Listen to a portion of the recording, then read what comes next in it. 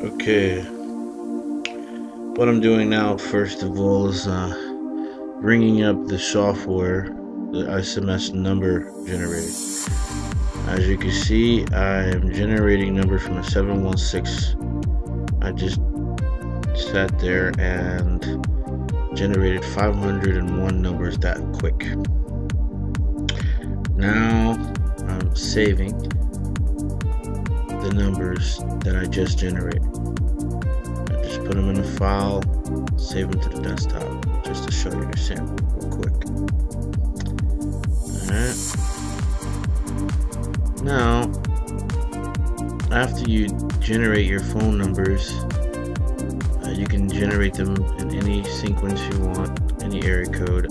There they are right there. Okay.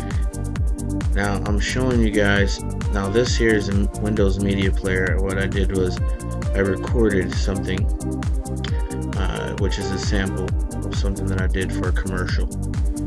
And then what I'm pointing to up there is the macro.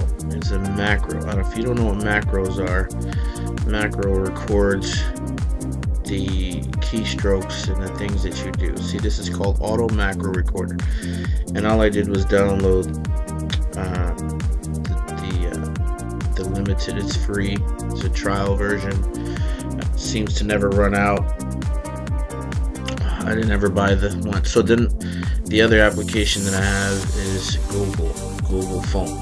Okay, the Google Talk. So you want to have your numbers generated, you want to have your media player, and you want to have uh, your Google. You want to open that up. Okay.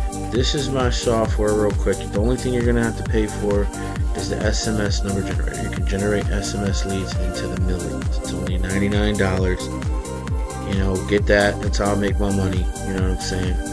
But after you get that, you'll be able to do all these different things. You'll be able to uh, generate phone numbers in any city, anywhere. Uh, put your phone numbers in and generate them. Now I'm showing you here a setup on how you can create your own auto dialer online. Okay, you first you go up here, you highlight the number, right? Copy and you paste it. Okay, and then you delete it twice so it brings it up in the list. Then you copy and you paste it into Google, and then you make a phone call. Then after you do that, you're gonna you're gonna play your message.